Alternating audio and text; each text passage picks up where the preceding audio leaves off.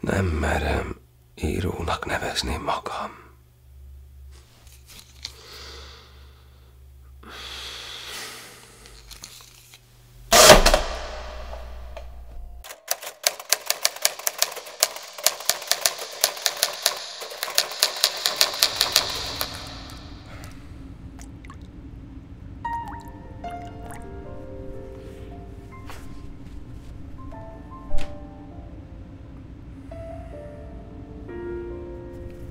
Semmiféle magatartás nem jogosult, mely az emberi renden kívül akar felépíteni egyfajta életrendet és napirendet.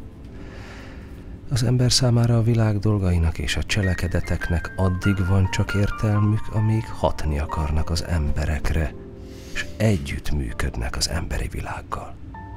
Ez az együttműködés lehet közvetlen, és lehet közvetett. De saját érdekéből senkinek nincs joga élni. Igen, még alkotni sincs joga.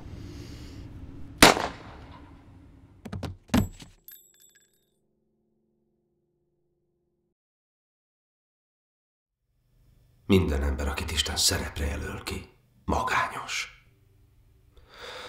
Jézus leszólt a keresztről anyjának, mint aki elutasít minden emberi együttérzést.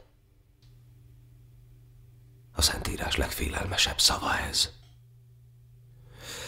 És Jézus mondta, hogy aki őt követi, elhagyja családját, elhagy mindent.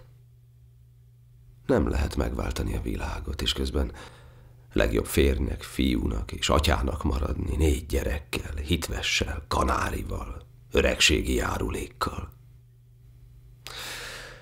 A szerep mindig teljes magányt, kietlen egyedül létet, könyörtelen, csak nem embertelen magatartást követel.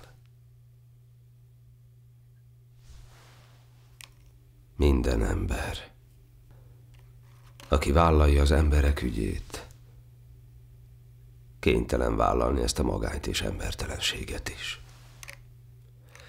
Aki ezt nem vállalja, kókler. Még akkor is az, ha megfeszítik.